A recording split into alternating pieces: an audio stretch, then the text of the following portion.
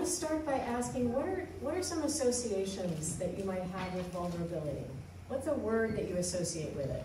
Just call it out. Openness. Openness. Fear. Fear. Risk, weakness. Risk. Weakness. Strength. Runs the gamut, right? Trust. Trust is one of them as well. Courage. Courage is another one as well. Change. Change. So lots of different associations. Pain, I hear. Danger, I hear. A lot of times it's hard to access the more positive aspects of vulnerability. A lot of people think of vulnerability as something that, you know, we, they're kind of afraid of a little bit. Every person has strengths that they, things that they can do really well, like like skateboarding and, and drawing and, and running committee meetings, right? Why are you laughing? and every person has times and situations when they may not feel like they're so good at it, you know, when they may not feel quite so strong. Now, I want to talk about animals for a minute. When animals are afraid, what do they do? One at a time, please. What, what do some animals do? Shake. Some animals might shake. What else? They run. Some animals run away. Hide. Some animals will hide. They'll camouflage themselves. Some, some animals play dead. Some animals might, might attack, they might bite, or they might hiss or growl. Can I hear some hissing and growling?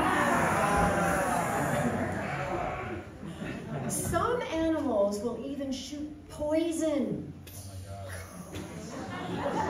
Like there are certain snakes and toads that will do that, right, when they're afraid or when they feel attacked. And what's really interesting is that human beings do some of the very same things. Right? Sometimes we do we might run away, we might we might just hide, we might we might shoot not real poison, but we might use poisonous words when we're feeling a little bit vulnerable. Humans can do some of the very same things, but one of the things about human beings is that we actually have more options than that. As human beings, when we feel vulnerable, we can actually talk about our vulnerabilities. And we can learn from the past and we can decide whether or not we're, we're afraid of is really something to be afraid of or something that, that maybe we can actually manage. And we can remind each other of our strengths, of our values and our spiritual practices. And one of the spiritual practices that can really help when we're feeling vulnerable and afraid is deep breathing. Conscious deep breathing. Note our model here. Deep breathing is one of the resources that we can do. It helps relax our muscles and our central nervous system. And when we do that, it can actually help us think more clearly. So if we're feeling afraid or vulnerable or maybe afraid that we're not strong enough, taking a few moments to breathe and calm ourselves a little bit can help us think more clearly about what's the best thing to do? What are some of the choices that we have? So at this time, I want us to just take a few moments to breathe together.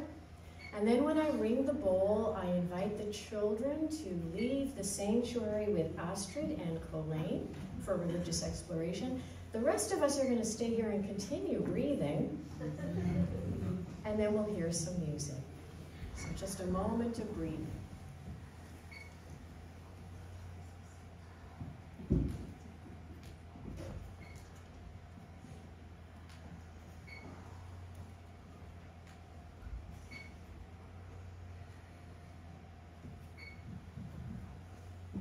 Keep breathing.